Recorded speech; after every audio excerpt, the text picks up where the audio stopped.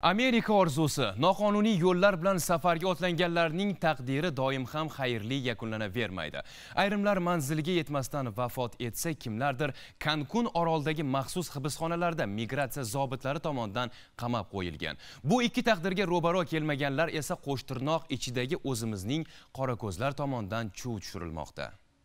Bitta ulug'bek degan odam bilan tanishdim. Meksikaga olib boraman faqat e, o'ttiz ming dollar bo'ladi dedi. O'zbekistondan o'n kishi bor edi vodiydan vohadan oldik. Hammamiz ketdik turkiyaga.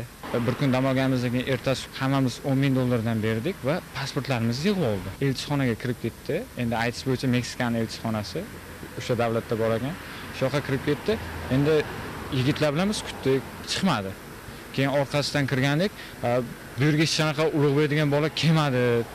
Dedi. Keyin qarasak ham o'n kishi o'n ming dollardan pulimiz pasportimiz yo'q. Keyin e, noiloj o'zbekiston elchixonasiga bordik iltimos qilib yordam so'radik. Keyin e, bir amallab qaytib keldik. Lekin shu bilan hammamizni shunchadan pulimiz ketdi va pasportsiz qoldik. Migrantlar tomonidan olingan mana bu tasvirlarda meksika o'rmonlarida odamlarning o'lib yotganligi hamda ularga yovvoyi hayvonlar hujum qilayotganligini ko'rishingiz mumkin. Ba'zi bir oson pul topishni ko'zlagan insonlar sha meksika migratsiya deb telegram kanali ochib odamlarga yo'l yo'riq ko'rsatish bahonasida pul ishlashmoqda. Plastik kartasiga pul o'tkazib va'dani olasiz ammo yarim yo'lda aloqa uzilib bergan pullaringizni unutishga majbur bo'lasiz. Turmush o'rtog'im oltita tilni biladi. Bu yerdan o'zimizga mos ish topolmadik. Uydagilardan rozilik olib uy mashinani sotdik. Turkiyaga bordik. O'sha odam sakson ming dollar bilan amerika chegarasiga olib borib qo'yishni va'da qildi. Meksikaga bordik. Suvlar daryolar orqali keyin o'rmonlar orqali amerikani chegarasiga yetib bormasimizdan oldin meksikan harbiylari ushlashdi va bizni qamoqxonaga olib bordi. Qamoqxonaga olib borgandan keyin ayolimni ayollar xonasiga mani esa erkaklar xonasiga qamashdi. Harbiylar meni urayotgan payti baqirgan ovozimni ayolim eshitib qoldida va meksikancha tilda gapirdi. Ular meksikan tilini bilarkan deb ayolimni olib chiqib ketishdi. Devorlar shu darajada yupqa ediki ko'zimni oldida ko'rinib turardi.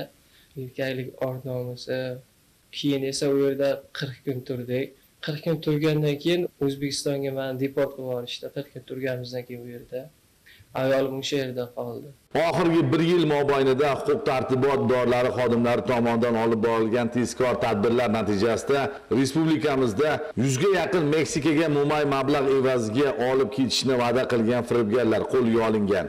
Ularga ishlab bergan aka bitta qo'lingizni ham ko'rsating qo'lingizda? Yo'q yo'q bo'ldi man yo'q yo'q ochib turing aka.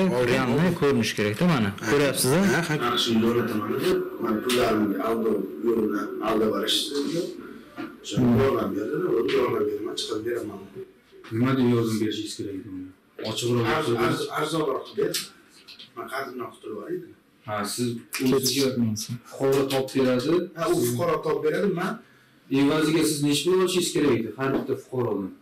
Man ikki yuz uch yuz dollar har bittasidan bitta fuqarodan shu paytgacha necha marta bir marta olganman. O'sha pulni olmaganman bir marta man turkiyaga mehmon qilib jo'natib yuborishdi xalqaro migratsiya agentligidan olingan ma'lumotga ko'ra siyosiy qochqin sifatida amerika hududiga kirib kelganlarning to'qson foizdan ortig'ini yozgan murojaati o'z tasdig'ini topmaganligi tufayli kelgan mamlakatiga deportatsiya qilinadi yoki fuqarolikni olgandan keyin tug'ilib o'sgan zaminiga qadam qo'ya olmaydi. 15 yil oldin amerikaga noqonuniy yo'llar bilan kelib siyosiy boshpana olib amerika fuqaroligini olganman hozirgi kunda mol davlatim boyligim o'zimga yetarli ammo ota onamni qabriga qo'yolmadi. Yuragimda alam bor. Ertaga vafot etsam murdam chet ellarga qolib ketadi. Siz hali ham bor budingizni sotib amerikaga yo'l olmoqchimisiz unda jiddiyroq o'ylab ko'ring. Balki bu loyihani ko'rgandan so'ng o'z fikringizdan qaytarsiz. Bu kun chingiz norqulov mashab samarqand.